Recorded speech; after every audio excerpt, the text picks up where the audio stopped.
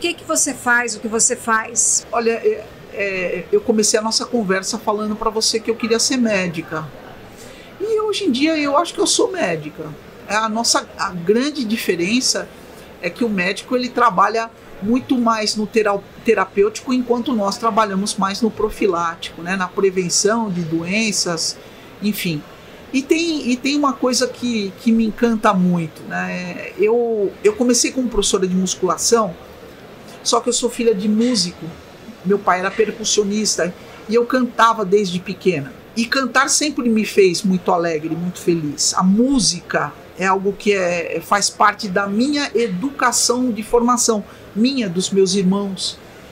E quando eu me vi no, nos anos 80 diante da possibilidade de utilizar música como fator motivacional para as pessoas se exercitarem, aquilo me trouxe um encantamento muito grande. Então foi exatamente através das atividades coletivas que eu consegui exercer amor. Né? Então, e à medida que o tempo passa e que você percebe a importância que o amor tem na atividade física, porque puxa, muito fala-se hoje em, fidelização. Eu não gosto nem da palavra retenção, porque parece que você está segurando, sabe? É. Alguém, não, não vai, não vai. Eu gosto da fidelização, para mim me agrada mais a palavra.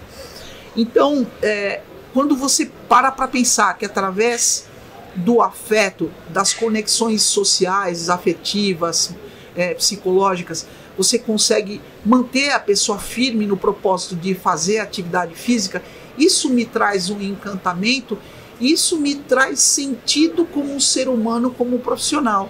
Poder ser esse agente, esse vetor que, através do afeto que é distribuído nas atividades coletivas, eu poder proporcionar esse bem aos outros.